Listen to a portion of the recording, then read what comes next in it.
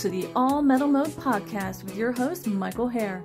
Tune in every Monday night, 8 p.m. Eastern, with co host Gypsy Jules, and every Tuesday night at 8 p.m. Eastern with Matt Hoffman as we talk to guests, discuss metal detectors, equipment, and everything treasure related. Feel free to join in the discussion in the chat room during the show. And please, if you like what you hear, we'd appreciate you taking a moment hit that like button and share the link with your friends. We hope you enjoy the show. The All Metal Mode podcast starts right now.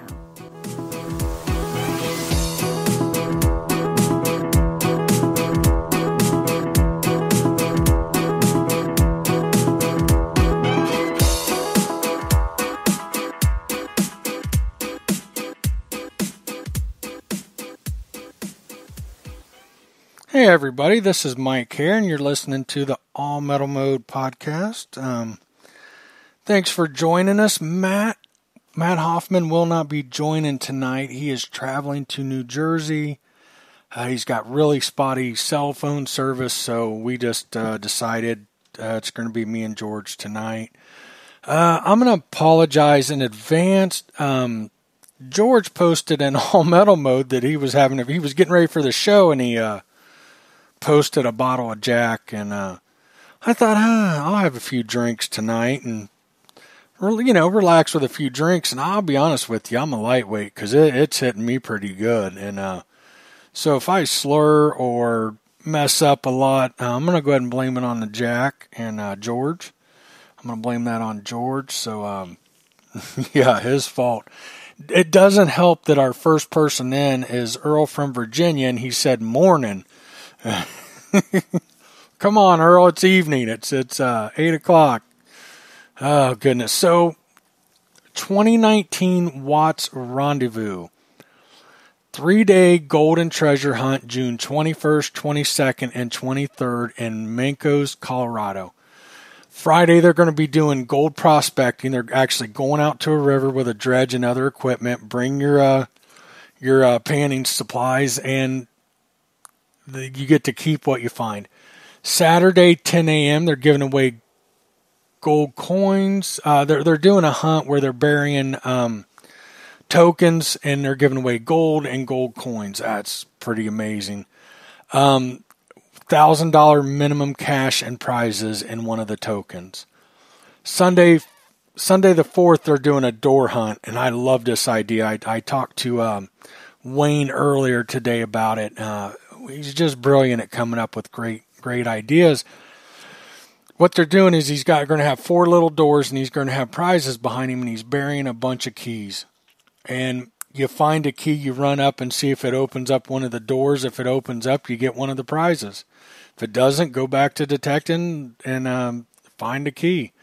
Um, the the where they're at, it's going to be um, you can camp. It's forty dollars a night, but that includes uh, three meals a day, or if you want a bunkhouse, it's forty-five dollars a night per person.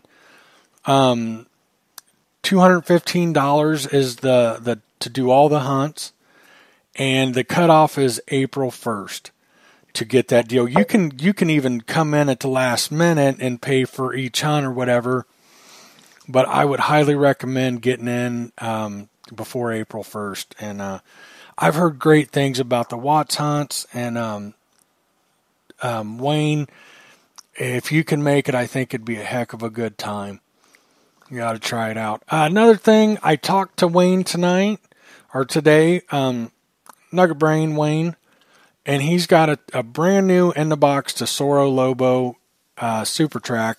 If anybody, he's trying to sell it. If anybody's interested, reach out to to Wayne. Tonight's guest is George Kinsey, and we're going to be talking about the XP-ORX. Um, he's had it for a while, loves it. I believe. We'll, I guess we'll find out. I mean, well, I don't know if he loves it, but I know he's been finding some really good stuff with it. So uh, we'll have to find out. How you doing, George?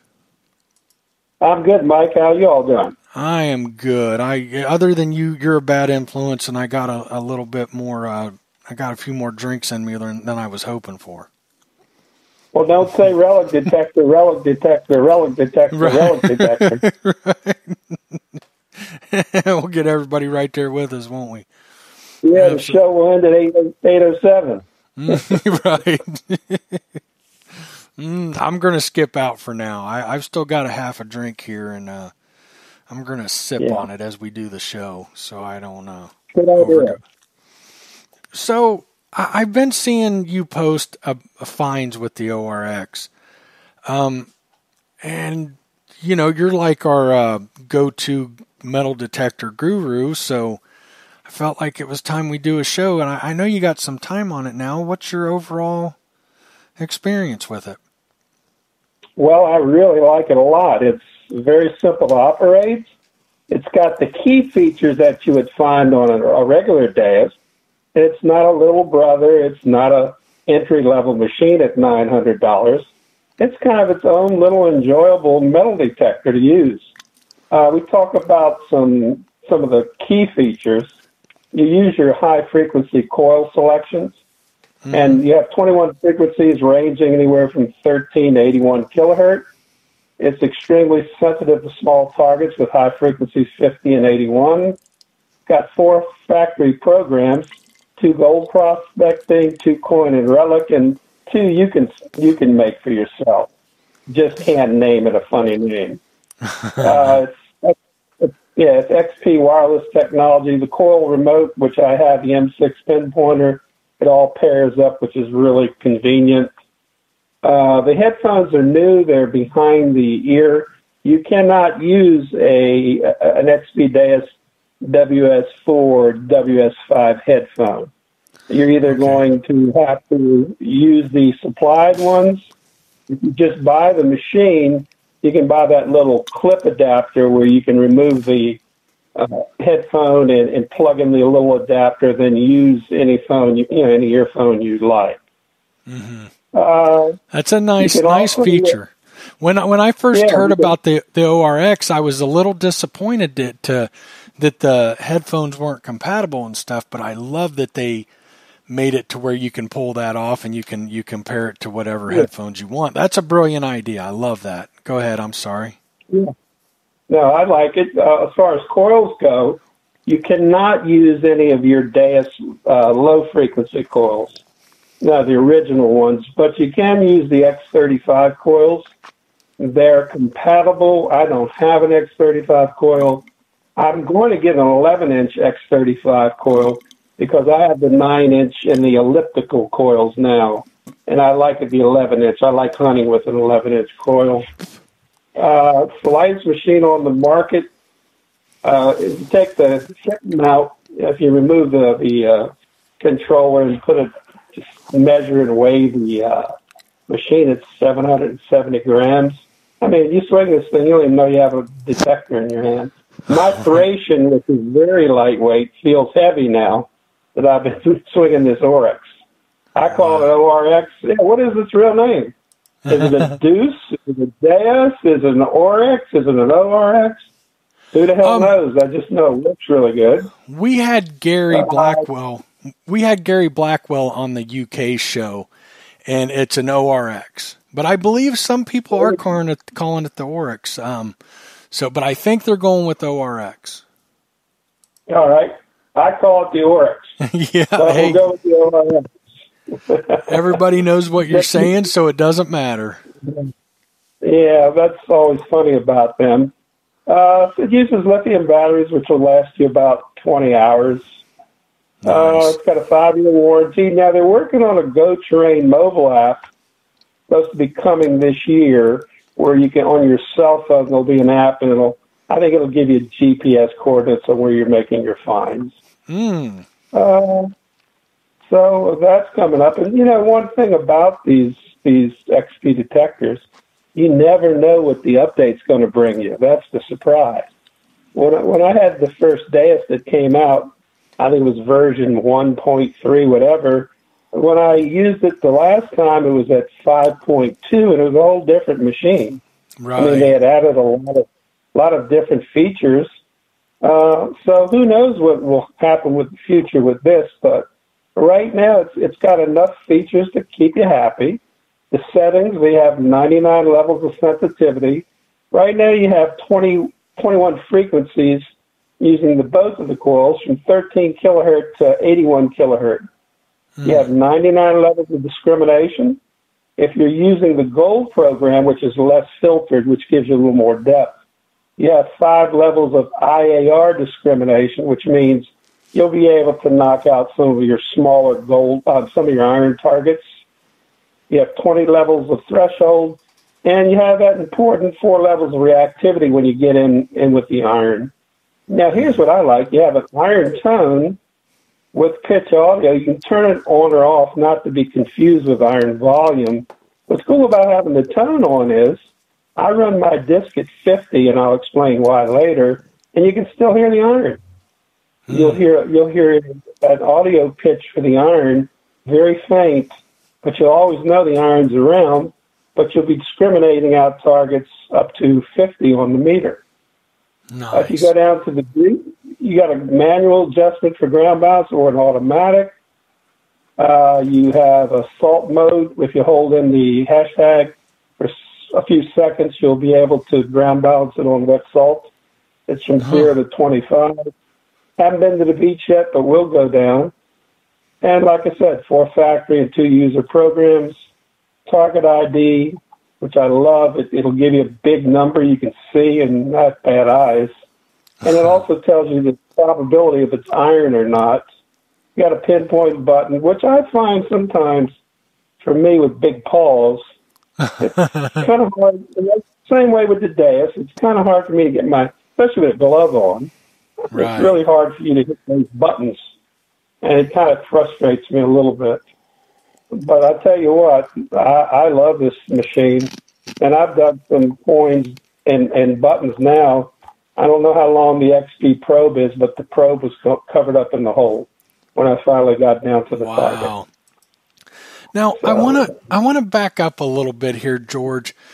Yeah. And and I apologize if I'm in if I'm incorrect here. I thought on one of our shows you weren't a big fan of the Deus simply because it didn't handle your ground conditions, your soil conditions real well.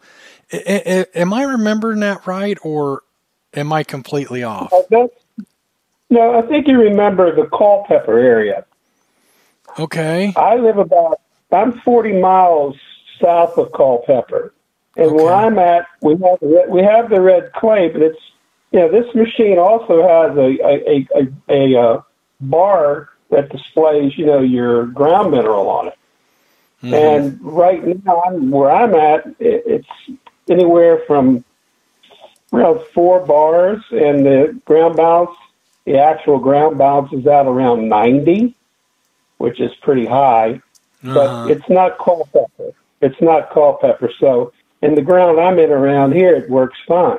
Okay. So you know, you in Central Virginia, I can go over across the street and I may not be able to get a good ground balance. But this one here, uh, what's kind of cool about it, let me, uh, I'm going to turn on my light here. I'm just going to turn this on without the, uh, without the volume. And okay. looking at the screen, you have a, they, they have a preset ground balance already here. When you're in the coin programs, they set it automatically at 88. It's almost like uh, taking some ferrite, you know, and balancing the coil to it. Mm-hmm. And when you're in the gold, it has a, a preset ground balance of 87. But when you actually hit the pinpoint button, you bob the coil up and then hit the button again, it'll give you your ground reading. And it should match your, you know, it should match what they've set up uh, on the machine already. And then you have a ground level of mineralization that will display in bars.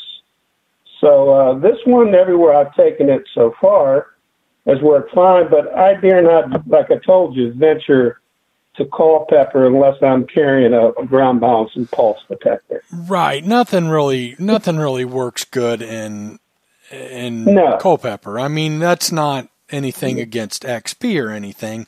Just you, you oh, pretty no. much have to have PI detector. Now, okay, what there was? Am I mistaken, or was there something you didn't like about the the Deus. I'm not trying to put you on the spot, but I thought we had talked, and I mean, because you you weren't regularly using the Deus anymore, correct? Correct. Well, what what what I what I didn't like is too many buttons to push. You know, you have to push okay. a lot of different buttons to get a lot of different information. You know, you have to push a button to to change your your frequencies. You have to put buttons, button, buttons, button, buttons. You have to push. The Oryx is simple. There's very few things to set up, and, and it's very easy to use. And that's what I didn't like about the Deus. I mean, I just got tired of, of pushing buttons. Now it's good. You can compare different frequencies to the target. I mean, you can do a lot of different things with the Deus. It's certainly one of the best detectors on planet Earth, as far as I'm concerned. Okay. But this one gives you some of the better features a simplified version with the performance you need. And it, it, it, you know, it will tell you you have three tones when you're in the you're in the uh, coin program, the deep coin and the you have two coin programs. When you're running those, you have three tones, but you actually have five tones. So if you have a three tone metal detector, tell me where I'm coming up with five tones actually. What do you think? I'll put you on the spot. Um, I would guess one of them would have to be iron, uh, some kind of something to do with the iron. That's Uh, one tone, the low tone iron. Is that one of the three tones, or is that a separate tone from the Yeah, three? the iron is one of the three tones, and your middle conductors is the second tone, a mid-tone, and your higher conductors, you know, your silver and copper and all that, is a high tone. But there's also two more tones. What are they? Well, George, you, you shouldn't have got me drinking alcohol if you're going to put me on the spot. I, um, I I don't know. You you've you stumped me. when Tell the me. targets, I you know I don't, I don't always look at a meter. I listen. Yeah. When the yeah. targets are deep with this machine, I mean, and they are deep, you'll get a mixed tone of high Okay. medium or medium low. okay. I call that the other two tones you'll hear, and those are usually the deeper ones. And when I hear that high medium, you know, you kind of jumps between the two, right. and then I check the depth and know it's deep. Chances are that may be a good high conductor. Okay. I if you gotcha. get if you get it's like a two tone machine. If you get low and mid tone, you know pretty much it's going to be a low conductor. And this thing locks on deep. I mean, I it really reads numbers very high. My buttons were coming in in the 80s. A pool tab, I dug a couple. They were shallow. I just dug them anyhow. They came in in the 70s. But all my coins, even the little ones, come in in like 88, 92, 95. And I dug a Maidenhead large cent, which was the first coin I dug with it, and it was down the full length of a probe, and it read the whole time in the 90s. And I said, well, how in the hell did I miss this thing? You know, I hmm. swung over it, and it's got the best modulation.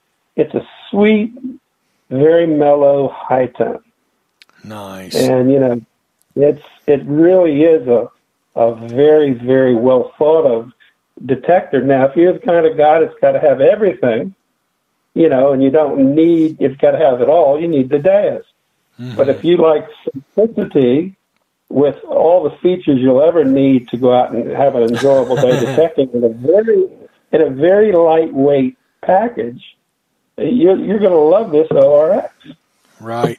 Now, eh, I, I assume it's as durable as the you know when i when i first started hearing about the deus i, I thought it would be a flexible flimsy. I, I was really surprised to find out how durable the deus is um, is is it still durable Oh, sure. Looks like just like the. I mean, the, everything looks the same, but it cut some weight out of the uh, the rod. You know, it's one piece to get the weight down, and they cut it out. But yeah, it's all one piece. It's nice it's really, really good, and the uh, the high frequency coils work the same as they do on the other Deus. Uh, But yeah, it's, uh, it is actually, you know, I'm a tall man, and I can since it's so light, I can take it all the way out and get it to be just about the right length for me, so I don't have to hunch over when I use it, that's and it good locks right in. Yeah. Nice. Now is oh, okay. w You you like you like it over the Deus for the fact that it's it doesn't you don't have to push a bu- bunch of buttons and stuff. Is there anything else you've noticed that you prefer uh, the OR- ORX over the Deus? Well, you know, for me, it's lighter than the Deus. Yeah. Although yeah. the Deus certainly isn't heavy. Um, the headphones are not for everybody. Uh, you know, they're the ultra lightweight behind the ear phones, uh, which you know you can't use, like I said, the the Deus phones with it. But they have great uh, great sound quality, and you know you can hear the tones really well with it. Uh, my ears have got cold the other day. you know, it got cold weather, and because you know they don't really cover your ears, they go back behind your right. your ear ear. But uh, I, uh, crystal clear tones, good volume. I don't see how anybody, uh, especially someone starting out who wants to get into XP detectors, wouldn't find this one very easy to use. And the gold modes go deeper because they're less filtered. You know, Mhm. they're pretty raw filtered machines, and you know they got a big number that jumps out on you. It will ID the and you know the number of the target, and then tell you the probability of it being iron. So it's got a couple of cool features, and the screen's plenty big. I can see it, and the light stays on. Uh, so uh, simple to use. You know, it's not a stripped down Deus like the Deus Lite that Okay. people were paying eight hundred dollars for. Uh, you know, without the um, the actual meter. Mhm. Uh, this has a meter, and and uh, it's got plenty of features that you want. Mhm. I like it. You know, I I like a lot of detectors, but I I really like this one. Yeah, that I think that's saying a lot. You know, I I I think we we all have our own opinions and what you like I might not like and vice versa. But I, I probably not probably I trust your opinion more than anybody else I've ever talked to because I know you've put years in and you've used not you know where me I know I've I've used probably I'm probably pushing 40 detectors or so and you've used hundreds. Um, so you, when you talk, I listen. Um, you know, and that doesn't mean that that uh, that, that there still couldn't be a, a situation where there's something you love that I don't, and vice versa. But I do trust your opinion more than anybody else. So when you start posted finds and you seemed excited about the ORX, my ears really perked, and I knew we had to get you on to talk about it. And uh, so Yeah. uh, yeah, I'm really excited to talk about it. You know, and, and something I I was wondering how it would do. You know, the the 800, the Equinox. I mean, that everybody that seems to be the talk of everything. And after it was released, you know, XP announces this, and I've been very surprised, but also happy for XP that I've seen. I've been seeing a lot of ORX talk, and I have not heard anything but good. Where the 800, even people that I've talked to that love the 800, there's things about it they don't like. And there's been some issues, and you know, you and I have talked about some of those on the show and stuff. And uh, so, I, I mean, I think this ORX is just going to grow. I do. I think as many people that are using it and talking so highly about it, it's it's definitely on the right path, and um, that's good Well, to I'll tell see. you. Um, yeah, I want to tell you something I found very interesting though. I went on a couple of the the XP people that sell XP, and I think maybe it's changed, but the the big the big site, the XP Americas, they don't push this detector. I I saw maybe it's changed, but the last time I looked, there was no mention of it. Are you talking about the the team, the uh, USA team? No, no, no, not that, not those folks. I mean, they're doing their own thing. I'm Okay, talking about yeah. the people that sell them. Oh, oh, I got you. I got you. the detectors. Yeah, You know, everybody wants the uh, Deus, and I think this one, some people might think it's just an afterthought. but truthfully, it's an amazing little piece of machinery. And how they do it at XP is beyond me. They are the most innovative company, I believe. And I've always believed that since the day it first came out. You know, I, I told I told a lot of folks when I got the first one how good they were going to be, and everybody laughed and joked, "Oh, that's a toy." You know what the hell? Now everybody and their mother has to have the thing. Right, I mean, right. The hottest, well, hottest selling detectors there are, but this little Oryx is, is no slouch. Let's put it that way. Yeah, yeah. No, I, I, I don't doubt it because, like I said, all I'm hearing and seeing is good things. You know, it's funny that yeah. you mentioned that. Um, when the Deus came out, you know, I was a deal. I had my own dealership at the time selling metal detectors, and I at that time, I, it was nothing for one, two, three emails a week on this new machine from Bulgaria and Russia and you know all these uh, European countries.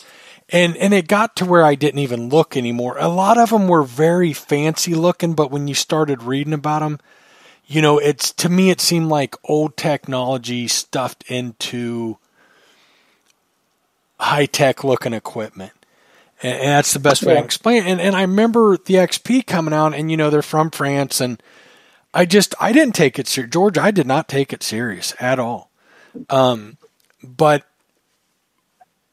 one after another after another, you know, using that detector and, and just kicking butt with it and the fines and I mean, I'll be I'll be the first one to admit, you know, I don't like I don't consider myself closed minded.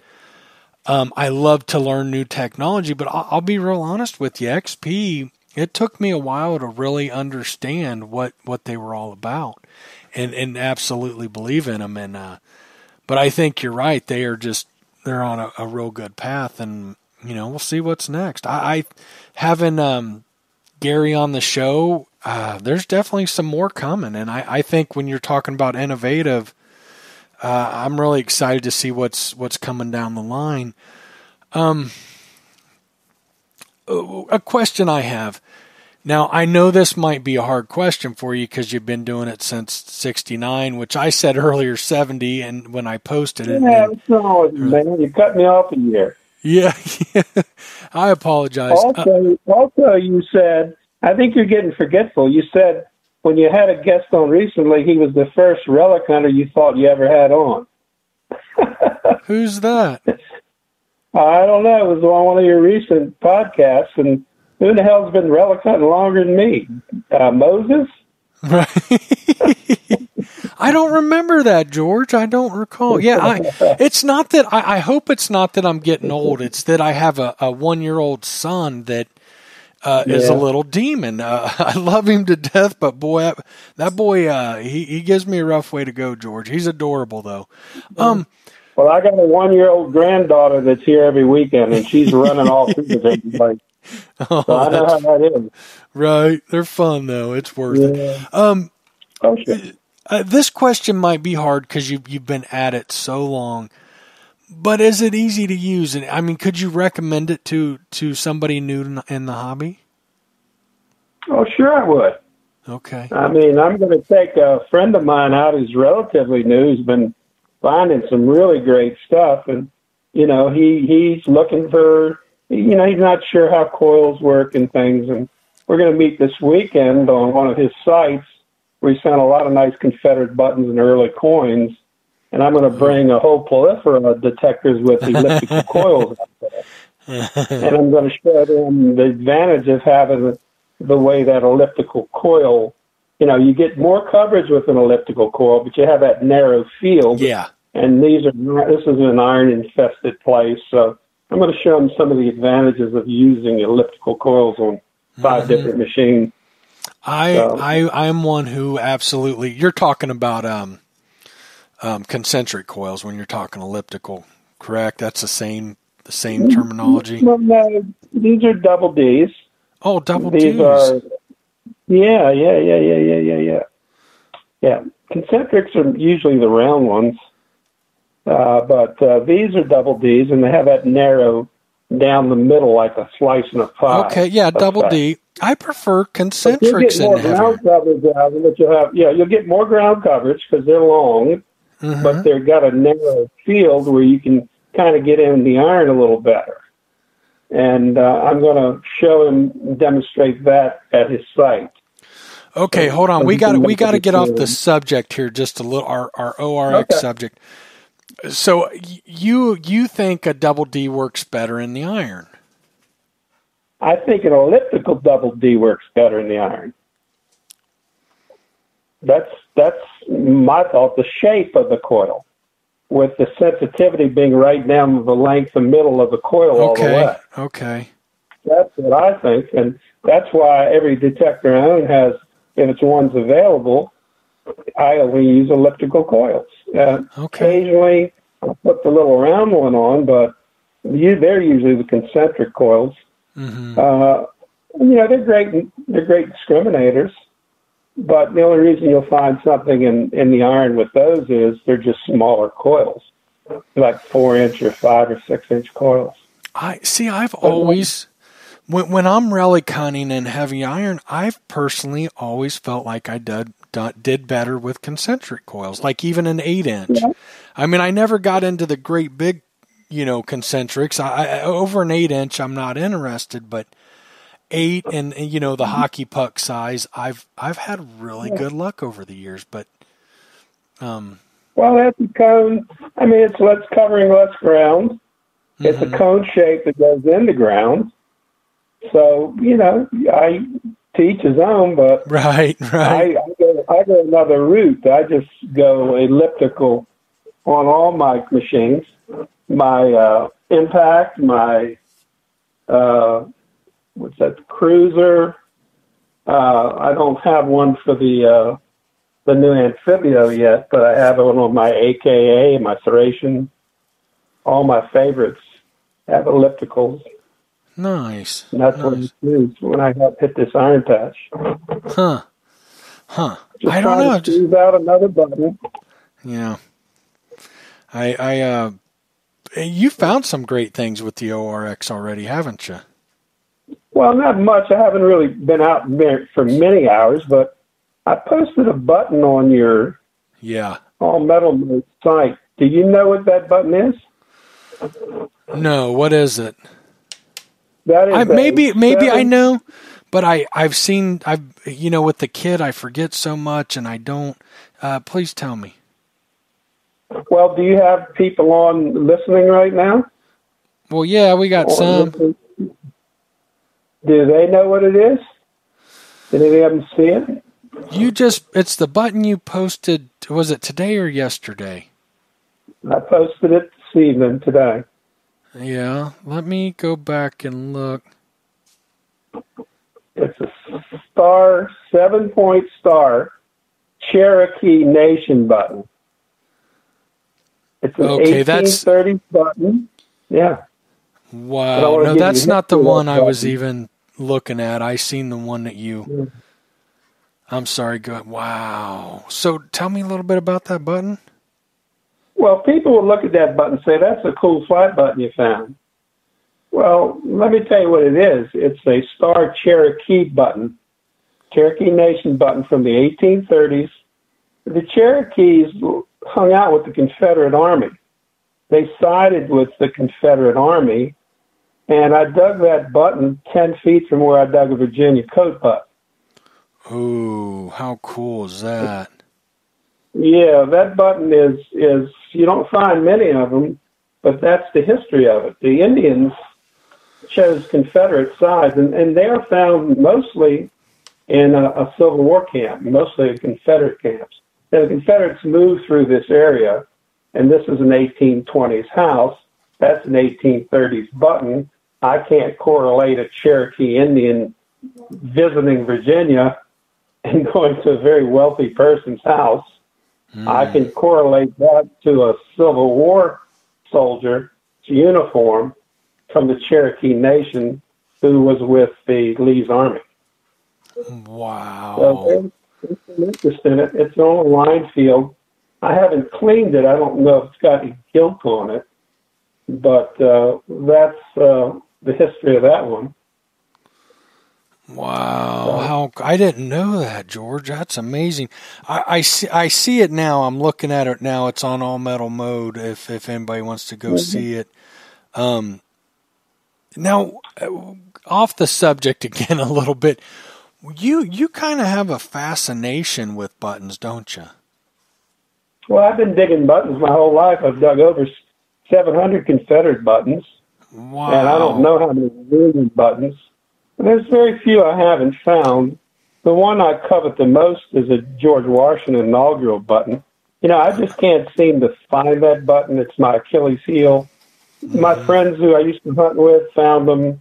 I've been on digs where they've been found. I just can't run my coil over it. I, I run them over the biggest dandy buttons you've ever seen. Jars full of these giant flat buttons, hoping one would be a GW. but you know, I haven't. I haven't. You know, it's all in the luck, I guess. Yeah, oh, absolutely. Yeah. Over... I may find one in my life. I may never. But it's like anything else. You know, I found gold coins. I found Civil War ID tags, and a lot of people will never find those. So right. I think you get what you get.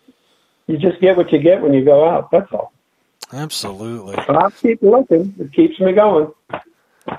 That that button that's a pretty looking button too. I would I would never consider that a flat button. I mean, you definitely clearly see the the lines and the star and everything. That's uh, that is impressive. Yeah, yeah, that's listed in Harry Ridgeway's. Uh, uh, he was the dean of of Civil War relics in Virginia, Ridgeway, and and he's listed that on his site. Uh, I found one other one, a different pattern in my life, but that's the first one of that pattern I've ever found. Oh wow!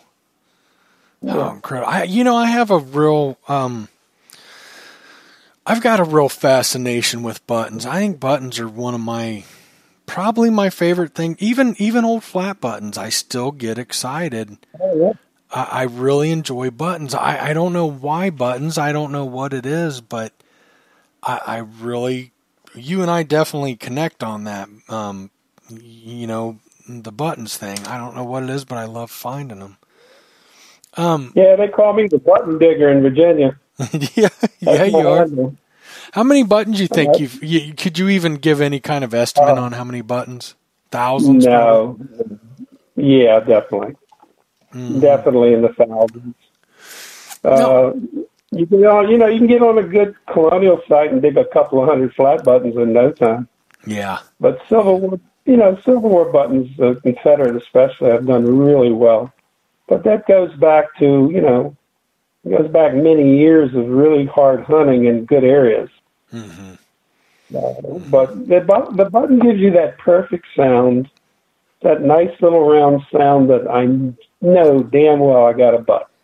yeah. You can you can really hear them, and uh, that's I've always enjoyed seeing them come out of the ground. Yeah, you never know what's on them. Right, yeah. you never know. It's it's who knows. Um, you know, when I was in Ohio, I found some eagle buttons from where they'd bring them home, but nothing too special. Yeah. But you know, you find them with designs on them and everything else, and and it's it's it's a, a really I don't know. I just love finding them. Um, I know we got off track a little bit. A, a question I had for you. Uh, um, you know, when they announced the price, because it's still a pricey detector. Um, you know, I, that's another thing I, I wondered how it would do. You know, because it seems like the trend is that that six to eight hundred dollar range, I would say it really seems to be the trend lately. And not that nine hundred dollars is is out of the question by any means, or maybe still in the same price range. But uh, how do you think it ranks with other detectors in that price range? Well, you know, I think it's right about there. I mean, if you buy a new XP Deus, you're going to pay fifteen hundred dollars and up. Mm-hmm. So that's probably right around half of what it would cost you to buy a Deus.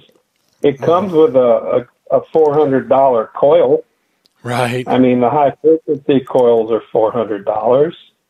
So you're actually getting the remote and everything else for about four ninety or four, you know, a little less than four hundred. If you were to buy an XP Deus remote by itself, you'd probably lay out six hundred. Right. Uh, so I think uh, I think it's really good value. Uh, I mean, it's it's just it's it's an XP. It's it's this wireless amazing technology. The only thing, if you got big paws, you're going to have problems if you wear gloves pushing those little buttons. But that's just one of the things you have to understand. right. It has nothing to do with performance. It has something to do with the fact that they're all the same. You know, I mean, George, I, the buttons you can try to get to. I don't know if, if you're like this, but I can overlook a lot of issues with the detector if it's not performance. You know, Yeah. uh, you know what I mean. Like, I I don't think you're ever going to build a detector that'll suit everybody. You know, it's just can't be done. So I, I'm pretty good at overlooking, uh, the you know certain design qualities that I might not like if the you know if, if the performance is there. So I think for you, as many detectors if you, that you've used and everything, and that's your biggest issue, I think that speaks volumes. So let me ask you this: Let's say you have I have six hundred to eight hundred dollars to spend on a detector. Um, would you tell me it's it's worth uh, saving up a little bit to to go out of my price range? I would think so. Yeah. I mean, I found nothing at all other than the fact that you know sometimes it's hard to push the button. Other Right. than that, everything ran smooth, and it had the depth. People think doesn't think it's going to have the depth. What are you talking about? Uh, the, One of the gold, uh, one of the coin programs is deep. Uh, you know, one of the the gold programs. Uh, you have fine gold and regular gold. It's unfiltered. It's deep. Uh, you know, you're gonna how deep you got to go. Right. You know, and and you know when you're a senior, like I am, uh, you know, sorry about it, I am. That weight is a big factor, you know, and and and having something that light that can perform the way it does is is a bonus. You know, Yeah. you big oxes, go ahead and use your Anfibios. I've got one. Lean it up against the wall, lonely like the other ones. The only reason it's leaning is it's too heavy for my arm. Is No, it a I'm- beast? Is it? Yeah, it's fantastic, hmm but it's it's too heavy. I can't I can't swing it. Yeah, no, I'm with you. I'm I'm getting there, um, George. I'm getting there quick. I, matter of fact, I was out this evening. Um, uh, I got home, got ready for the show, and and here we are. But so I was out until this evening metal detecting, and I was with a heavier detector, and I was just in taller grass. I and I'm not tall grass, just it, it wasn't manicured real well. And I noticed just like after half an hour swinging in that, I, I was, I wanted to get out of it and swing in the nice low grass because it was just starting to wear me out. And, you know, 20 years ago, I would have laughed at you and made fun of you, but, um, no, not really. I'm kidding. But I wouldn't have understood that, that comment, you know, how important a, a lightweight detector is. But I'll tell you what, it's really, it's really starting to catch up on me. And the longer you swing, it seems like the the harder it gets um, to swing those heavy do detectors. your Do you use your arm strap, or you just lay your your your arm in in the uh, just lay your arm It- on the armrest? It depends. Uh, um, I, I hate I hate I hate an arm strap. So if I can Well, get away without it, I don't use it. Well, that's why you'd have a problem in, grass or thigh or stubble. You know, it, it's going the torque that it's created. If you don't have your arm in it, you don't have to tighten it down, but it helps with torquing just by simply sticking your damn arm in the armrest. Yeah, in It the, will in won't the wear you out as much. I hate a strap. It drives me crazy.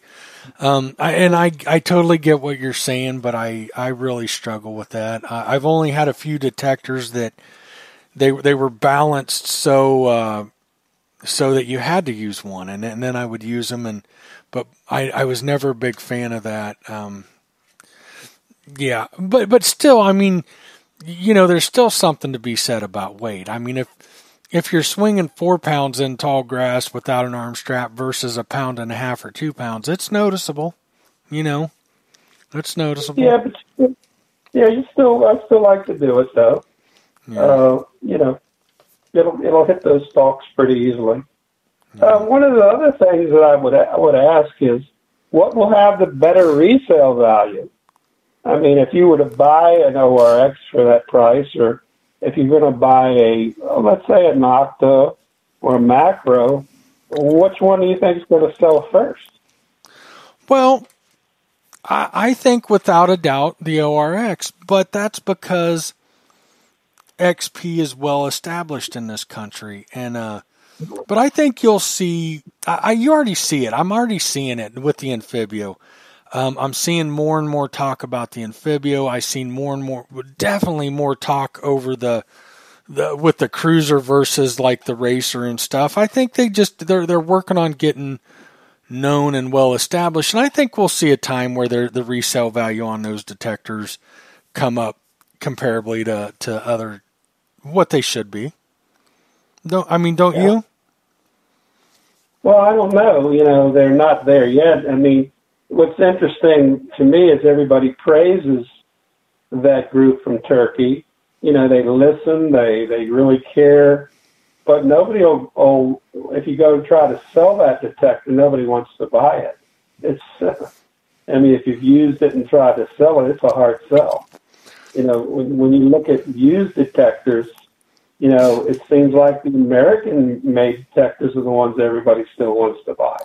Well, Even that's because they've been household names for 20, 30 yeah. years. Um, that's right. You know, I, I, think, in in my opinion, I think, um, you know, I think Nokta Makro is right up there with XP on uh, their technology. I think they're one. I think they're definitely one of the most innovative con- uh, companies out there, manufacturers. Uh, that's my personal opinion. I think. I think well, not. They have, the same, they have regular technology. They have innovative programs they've put in there. They've mm. put in their machines. Their programs are what makes them. It's, yeah, it's VLS technology. Well, yes, absolutely, but you know, we, yeah. we we also know that. I mean, they. I think to me, I see them as one of the hardest working companies out there. I mean, they're, they're listening to, they're, they're wanting feedback. They're listening to their feedback. You know, um, they announced this multi, multi, simultaneous multiple frequency while it's still in the works and wanted people's input to what they wanted in it. What other company has done that? Reached no, out to no, the I'm masses. Not saying, I'm not saying that they they don't care and they don't make a good product. It's just the masses haven't caught on. No, the, you know, the masses in the United States have not. You are correct.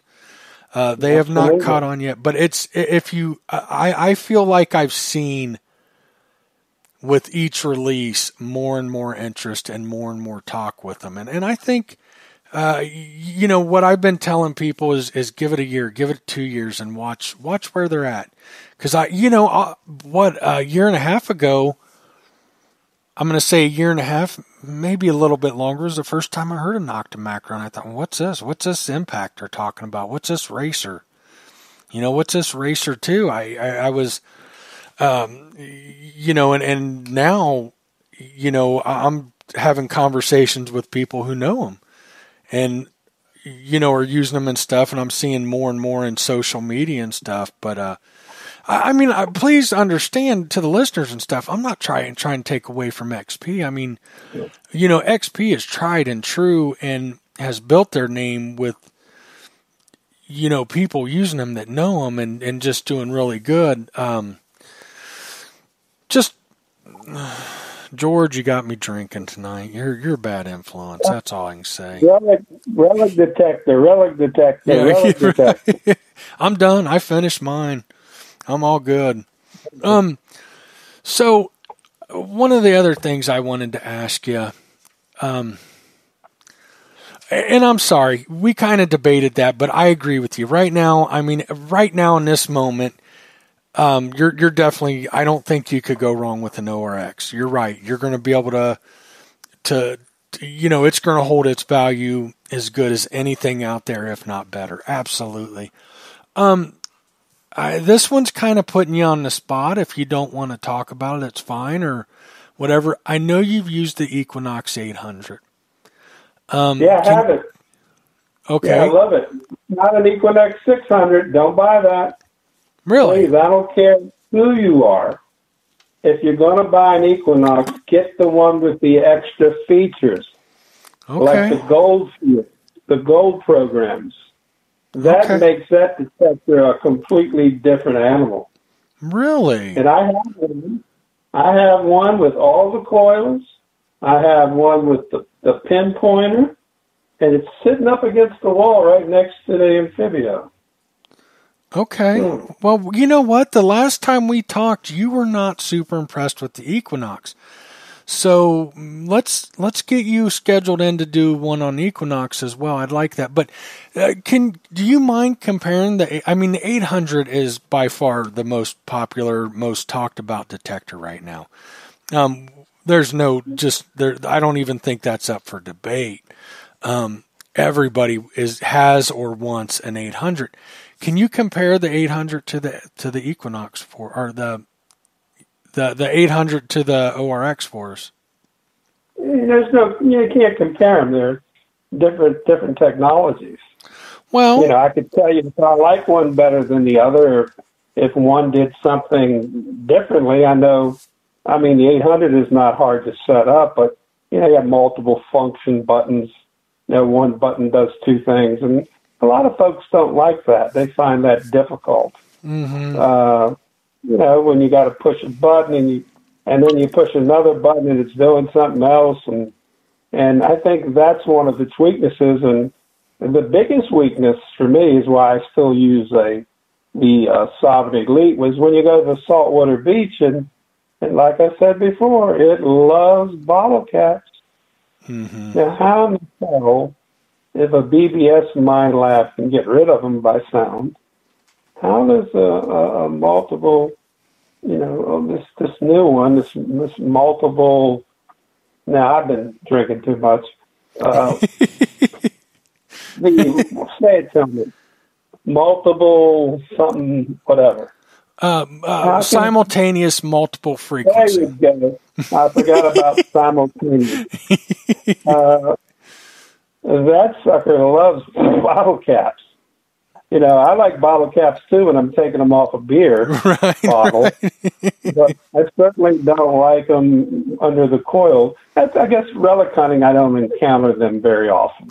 Right. But uh, I don't get that. I, I can't figure that one out. That's a mystery to me.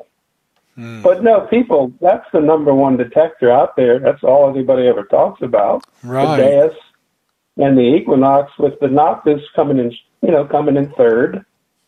So I think it's you know it's Minelab XP and Nokta Makro, and those are the ones that are all the buzz about in the world today. Okay, you say you can't. It's I understand different technology and stuff, but the Equinox 8, uh, 800 versus the ORX. Can, are you willing to say, or, or can you say? Well, it does more. I mean, they are they they are in the same price range, so I think they should be somewhat com- be able to be compared to one another simply because of their price range. I, I completely understand and agree different technology. Or am I putting well, you on the spot? More, you get more features with the. Uh, you, you obviously get more settings and more features. And what do you got? Six, six different programs with the uh, 800, where you've got. Uh, four only on the uh, uh, or ORX. So there's more. There's more in, in the package with the 800, but I I didn't find myself finding anything. And one of the things I you know I hate is digging tiny targets, mm-hmm. and I mm-hmm. still hate the compressed the compressed TDI mm-hmm. or TID. I'm thinking of the TDI now. Uh, or, v, or VDI visual display yeah. Well, yeah. Well, with the you know with the ORX, I can tune out set the disc at fifty and never take any crap. Right. Can't do that with can't do that with any any one of the equinoxes because you know any number could be a number of different things, and you're still going to have to dig it all. And and I can tell you, I hate digging at all because I don't want to dig and waste my time. Mm. Got arthritis in my fingers. Who wants to dig up dig up right. crap all day when right. I can set this over to fifty and dig, enjoy digging real targets? So George, so George, if if I have an ORX in my hand and an 800 in the other, without be you're, you're saying both of them are great detectors, and I say you can pick one, George. Which one are you going to pick? Oh, I'm grabbing the ORX. Okay. Okay. That's me. But that's me only because yeah. it does some simple things that are important to me. Right. And one of them is is the fact that I can I I know when I can get rid of the things I don't want to dig and not miss anything at depth that I do want to dig. I trust that that uh, that ID meter, and it it gets it goes down and identifies targets pretty deep. So if I've got to look at a meter, although I really don't like to, mm-hmm. it's got a lot of useful information. And and when you hit a target, I mean, the meter changes and gives you a nice big number, and you can decide to look at the number and listen to the tone, and uh, it's that simple. Now, something I find with a lot of a lot of detectors uh, seem to kind of get away from, or or I have maybe it's me. I, I know I don't have the best hearing. Um, on the ORX, can you tell the depth through your tone? Yeah, got great modulation. Good. That's it, you, you, definitely can tell the depth with this sucker. I mean, you nice. know, and I listen, I hear that good, sweet, high tone, man, and and then you get a lock on, which surprises the heck out of you. Then you do the pinpoint, and you know it's deep. Okay. You go down, and you're eight, nine, ten inches down, and you still aren't there yet. um, good enough for me. Mm-hmm. Now, have have you noticed any? Uh, can can you do any comparisons between the 800 and the ORX on depth wise? Have you seen one that you think? Have you noticed that one seems deeper or better at depth or and depth isn't always everything. I know that. Well, to most people it seems running machines at the highest possible sensitivity and depth means everything where I never do. I run my ORX at 70 sensitivity. Okay. okay. And that gives me a nice it still gives me all the depth I want and gives me a I can hear the clear tone. I don't okay. like all the jibber jabber. You cause your own problems when you run sensitivity up into the 90s, which you can if you want. Right. I, I don't ever do that with any machine. No, uh, you, you, know, you, and I agree then because I'm the same way. I, I don't. I think if you if you have to run a detector unstable to get incredible depth, it's not a detector for me. I don't want. I don't think you you need to listen. I mean, if you feel like you got to listen to all that chatter and noise to get the depth. It's it that that detector is not for me. You should be able to run it stable and and get it to do what you want to do. Yep. So Absolutely. far, so good. Good. Yeah. So far, so good. It's just not a lot to talk about. It's just easy to use, and you know, watch those. Uh, you know, I think XP has a skill school that Gary does. Mm-hmm. Uh, just let's go to XP ORX and, and, and you can hear hear the sounds and you know you can understand a little bit more about it. I mean, I think he does a good job with the way he, you know, he goes through the settings and tells you how things work. Yeah. I mean, it's it's something you should look at before you would buy one. I would think. Mm-hmm. Mm-hmm. But uh, you know, now I got to figure out how to get rid of all this other stuff, except my beloved Thracian. That's funny. Um, one other thing I wanted to talk about. You said it has two gold uh, gold programs and two coin and relic programs. Can you? Well, why two coin, each? What's coin programs? Yeah, Say, you have two. You have. Uh, you're going to have a, a, coin deep and coin fast. Oh, okay. coin fast, obviously, when you're in the iron coin deep is you know it, it is what it says it is. Right. And right. then when you have, when you're, when you're running your gold programs, uh, you know, you have the uh, just gold, basic gold, and then fine gold. That's smaller pieces. Or, and you know, you can use the, the uh, machine in gold programs to hunt relics. And Yeah, you get a little more depth because of the fact that it's not filtered Yeah. at all. What what programs have you been run? What what have you been running and uh, looking? Because you, I I know you're a big time relic hunter. Have you done anything besides relic hunting with it? Well, I find old coins when I relic hunt, so I know I don't go to the park and coin shoot Okay, okay, or go to- or go to the sandbox and all that crap. No, I find more old coins relic hunting than I ever did as a coin shooter back in the day when there was lots of old coins. hmm and you're probably I, I in. like, I'm sorry. Go ahead. I cut you. off. I just, I'm not the Mercury dime guy. Right, right. Um, so you're you pro, pro, uh, you pretty much been relic hunting with it, and and I'm assuming in heavy iron. Am I correct? All my sights are heavy iron. Okay, so what what's what setting? What's your go-to settings, and is there any modifications? Well, you can take you can take like. Well, uh, let me just go real quick. So if you go to, I don't go. Coin fast is good if you know your targets are shallow, and you know I run it at 14 kilohertz pretty much. Uh, reactivity, you know, which allows you to get in and close to, to the iron and react to it. I usually run that right at at uh, three. I run my disc at at 50 and I run my sensitivity around between 70 and 80. That eliminates a lot of the ground mineral out here. The, the thing ground balances out some areas 84 and my worst area ground balanced at 90 uh, when you actually do a ground balance. But the machine's set up already uh, pretty much at 88 when you're turning on these coin programs and it's 87 when you're running gold they've already figured that average in. So all you're doing is you're comparing the their average to what your ground actually is. Mm. So it's uh, it's very interesting the way that it works. What I like is you know I, I lose pin pointers all the time. Well, what, go what, into the, what, what do you mean you lose pin pointers? Oh Christ, when they were black, I let I leave them all over the state. yeah. And uh, I was one of the first people to say, "Hey, when you going to make an orange point pinpointer?" And everybody laughed at me. Oh, you silly! No, no, uh-uh. you lose pinpointers.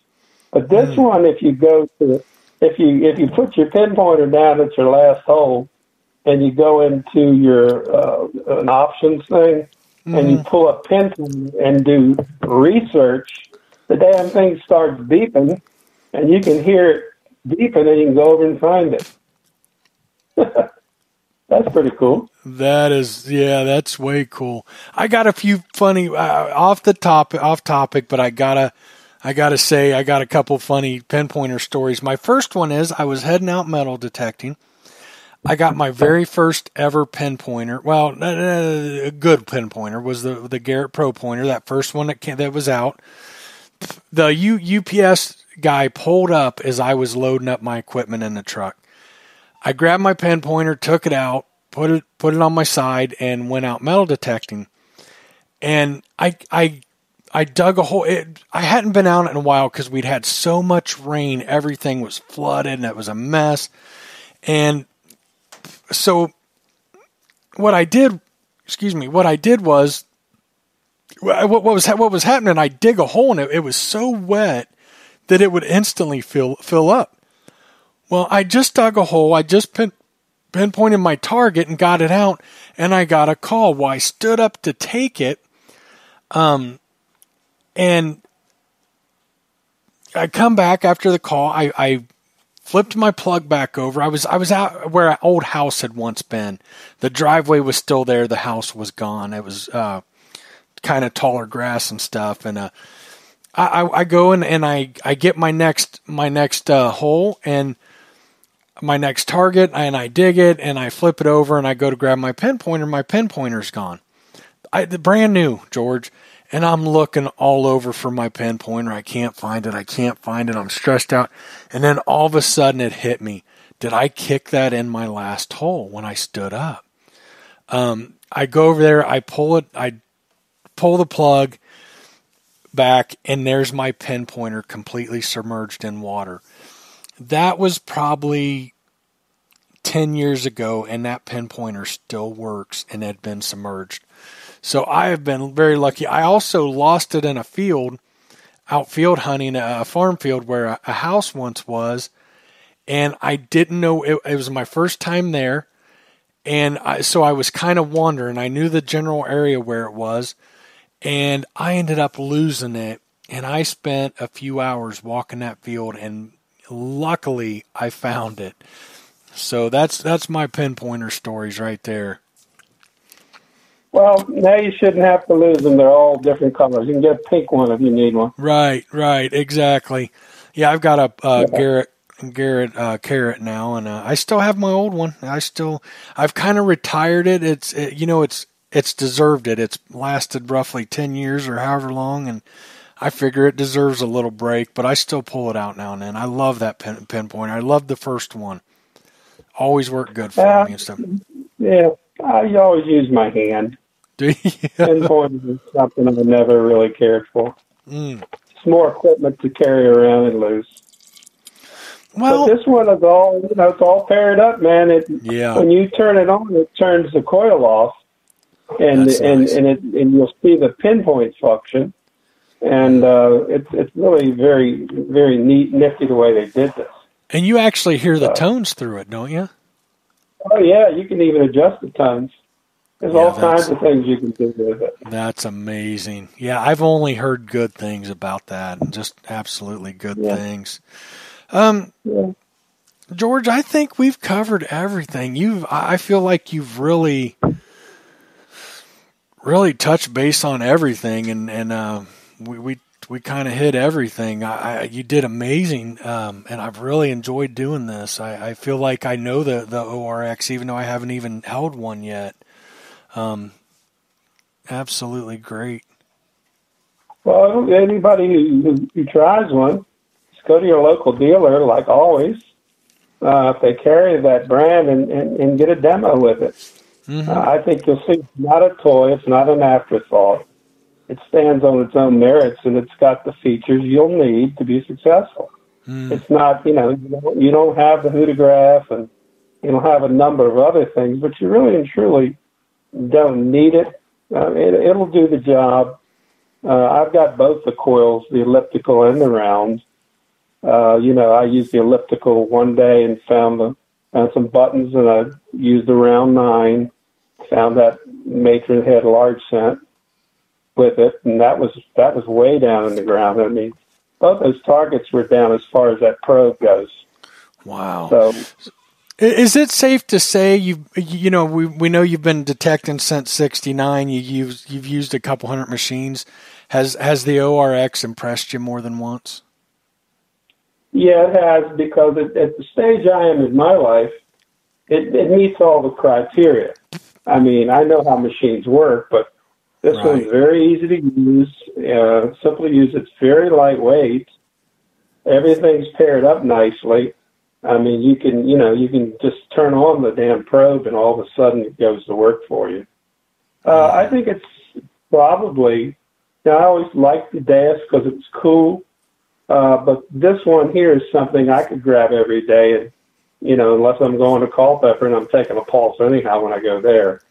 Uh, Right. It's something I could use every day, whether I'd be relic hunting or coin hunting, and that's what's interesting. What machine has two gold programs and two coin and relic programs? Right. And, and I th- I feel like a lot of times when it says coin and relic, the relic side Yeah. of it is more. It, they, they, a lot of a lot of the coin and relic detectors or coin and relic programs are way really mean coin programs to yeah, me. So it so the fact that you're using it to successfully relic hunt, it wasn't just an afterthought, or it's not just a, a title thrown on to, to coin shooting. Um, it must really be getting the job done. So very impressive, George. I, you know, it sounds like to me everything you're telling me. It's just it's a workhorse. It's it's not as fancy as like the Deus, but it's just it, it's simple. It gets the job done. Yep, it's got the right amount of power. It's got the right reactivity adjustment. I mean, it's it's it really does do some interesting things on its own merit. It's very lightweight. Uh, it, you'd be amazed at how lightweight it is, and it doesn't feel cheap. Right. It's light. Yeah, and that's. It, you know, and you can you can adjust it. You get the X35 coil, and then you'll have from 21 frequencies, and then you'll have 30, you know, X35 frequencies. And this one you can offset, you know, you can go down to 13 or up to 81 uh, kilohertz when you're using it. And mm-hmm. I mean, how many how many more frequencies do you need? Right. What What are you using relic hunting? What What Where are you at when you're relic hunting? Uh, what do I where do I have 14? 14. Now, what I found out though, I had the elliptical on and was running 14 Sunday when I dug that Cherokee button. And I went over by their uh, private power and I got EMI at 14 with the elliptical. Then I kicked it up to 31, I think it was, and it went away right away. Oh, that's so at least nice. it told me where that power line was. Yeah, uh, absolutely. You know, but 31 knocked the EMI flat. You wouldn't even know it was there. Oh, that's so the nice. frequency could help with that. Yeah, that changing that did, got got rid of that mm. shallow power. That's cable. impressive. Very impressive. Okay, George. I don't have any other questions. Is there anything you want to add to it before we before we call it a night? No, I think we're good. Uh, you know, and and you know, I'll talk to you more. I've got some machines I want to send you, so we'll communicate about that later. Yeah, and we'll probably have another. We'll figure out another contest to have. Since right. Nobody wants to win one of George's detectives. I I got to tell you, I had some messages over that where people were like, "Is he for real giving it away, giving away a detector?" And I went and looked, and I said, "I think he is. I mean, it sounds like he's not joking, but nobody hit it." I have, a, I have a dresser here. You know what I was going to do? What's that? Pick the drawer, and there'd be a can of spam in one drawer. Uh, there might be a, a pinpointer in another there may be some baked beans in a drawer, and then there may be a really nice metal detector. And you know, you'd have to pick the drawer the one the contest, and you got what you got. that sounds like a blast, yeah. George. I gotta, I gotta figure a creative way out of since I can't hide them anymore, get rid of them. Right.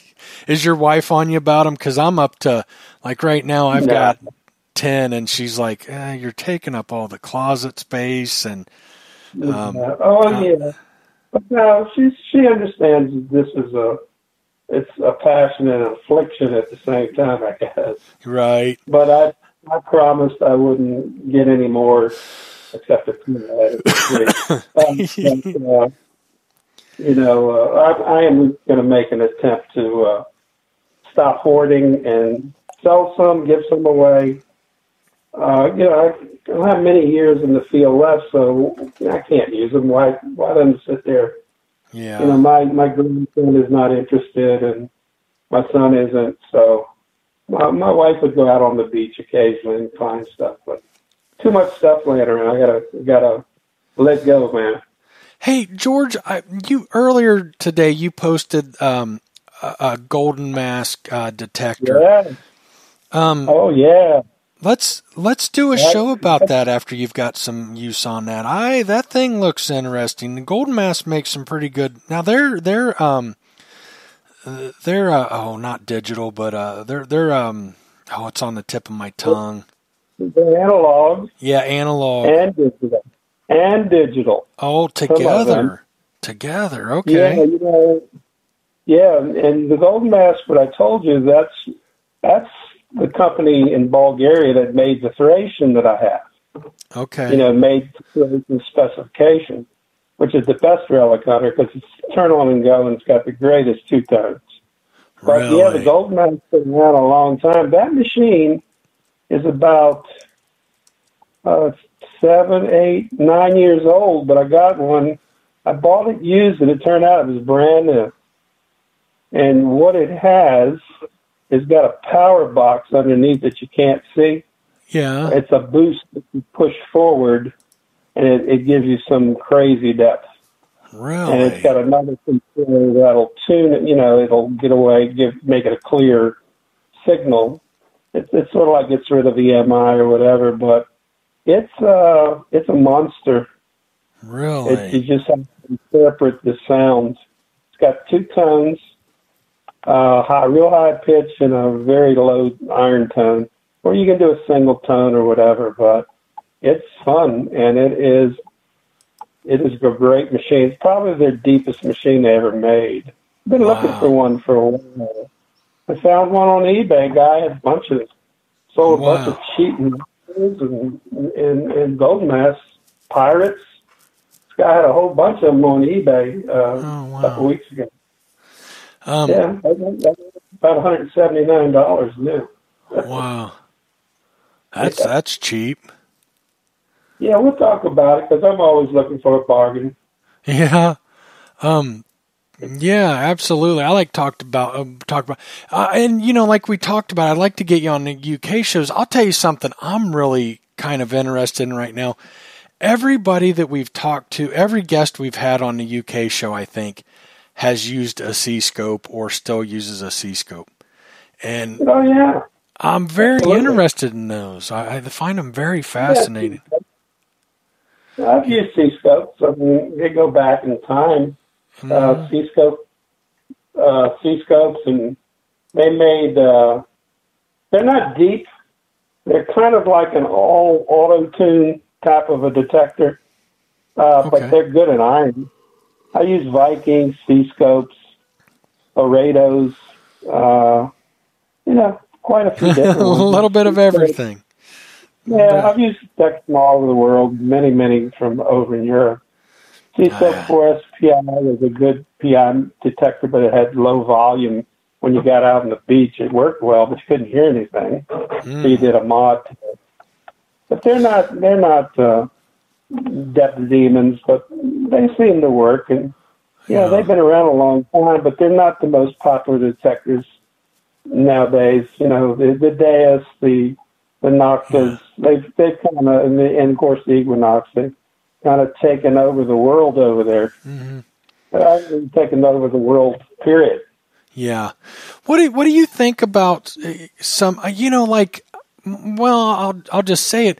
Like, it saddens me to see where Tesoro's at, and I don't remember your your your thought on Tesoro's. And in some ways, I get it. I know they've fallen behind.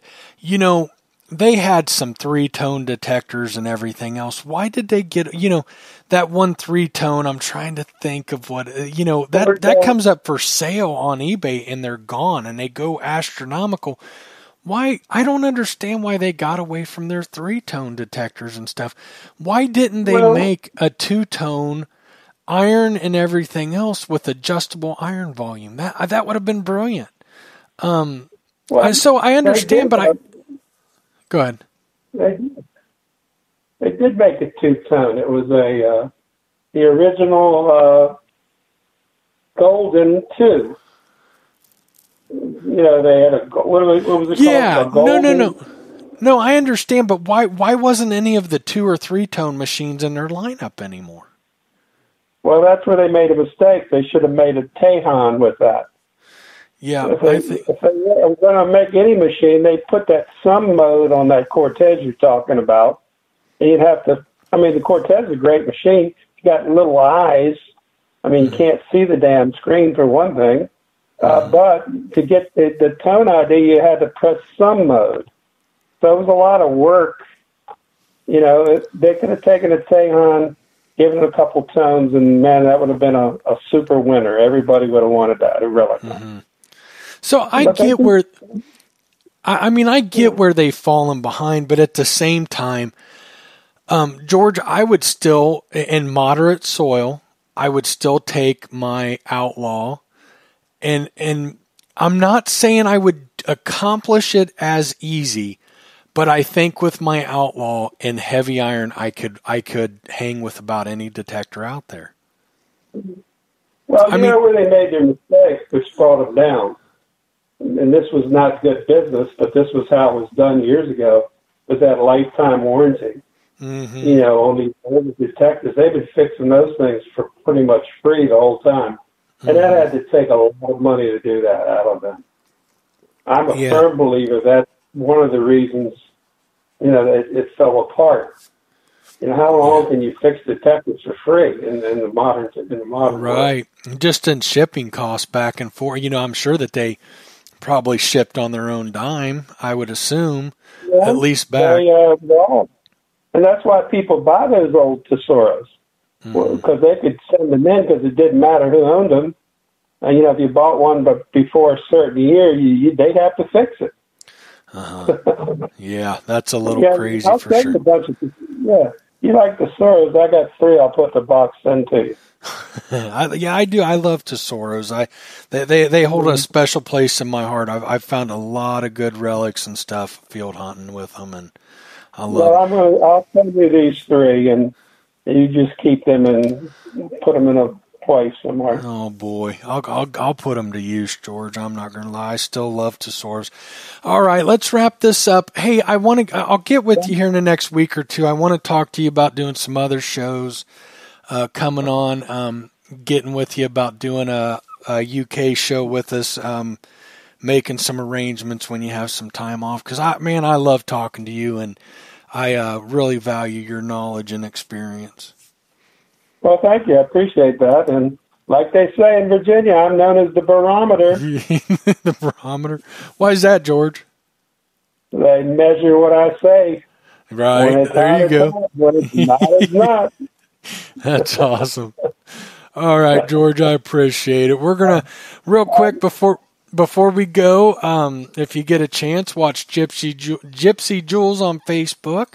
Girls Rock Metal Detecting. That's uh, Kimmy Price. Um, she does our intro, great videos. On Facebook, I know they're just Ohio, but I love Ohio Relic Hunting. Uh, Dirt Pirates, Facebook, um, YouTube, Huntress Kimmy and Clodhopper Scott throughout the UK. I love watching those guys. Uh, Archaeology and Metal Detecting Magazine. Check them out online. So, uh, George, again, always a pleasure having you on, buddy, and I appreciate it.